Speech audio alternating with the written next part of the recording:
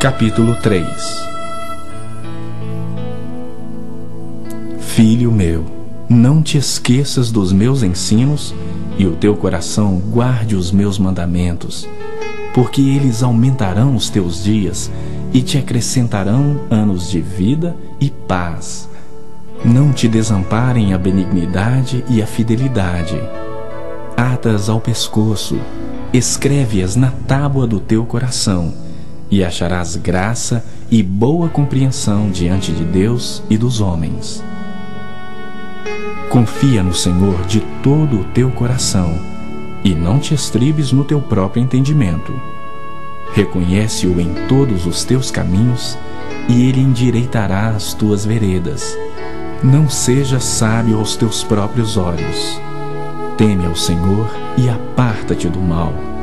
Será isso saúde para o teu corpo e refrigério para os teus ossos. Honra ao Senhor com os teus bens e com as primícias de toda a tua renda, e se encherão fartamente os teus celeiros, e transbordarão de vinho os teus lagares.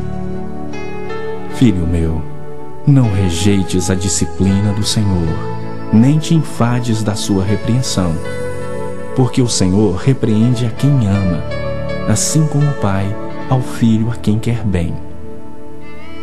Feliz o homem que acha sabedoria e o homem que adquire conhecimento, porque melhor é o lucro que ela dá do que o da prata, e melhor a sua renda do que o ouro mais fino.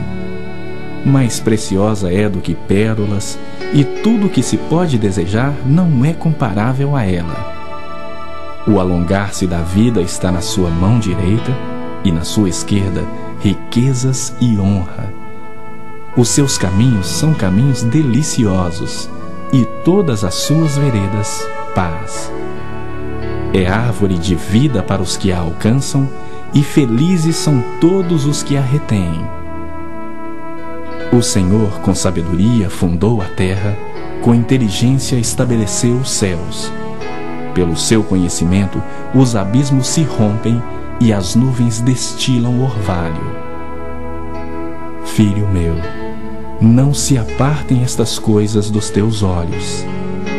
Guarda a verdadeira sabedoria e o bom siso, porque serão vida para a tua alma e adorno ao teu pescoço. Então andarás seguro no teu caminho e não tropeçará o teu pé. Quando te deitares, não temerás. Deitar-te-ás e o teu sono será suave. Não temas o pavor repentino nem a arremetida dos perversos quando vier, porque o Senhor será a tua segurança e guardará os teus pés de serem presos. Não te furtes a fazer o bem a quem de direito, estando na tua mão o poder de fazê-lo. Não digas ao teu próximo, vai e volta amanhã, então tu darei, se o tens agora contigo. Não maquines o mal contra o teu próximo pois habita junto de ti confiadamente. Jamais pleiteis com alguém sem razão, se te não houver feito mal.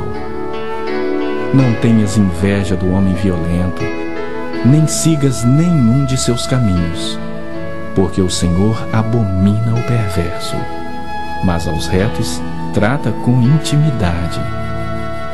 A maldição do Senhor habita na casa do perverso Porém, a morada dos justos ele abençoa. Certamente ele escarnece dos escarnecedores, mas dá graça aos humildes. Os sábios herdarão honra, mas os loucos tomam sobre si a ignomínia.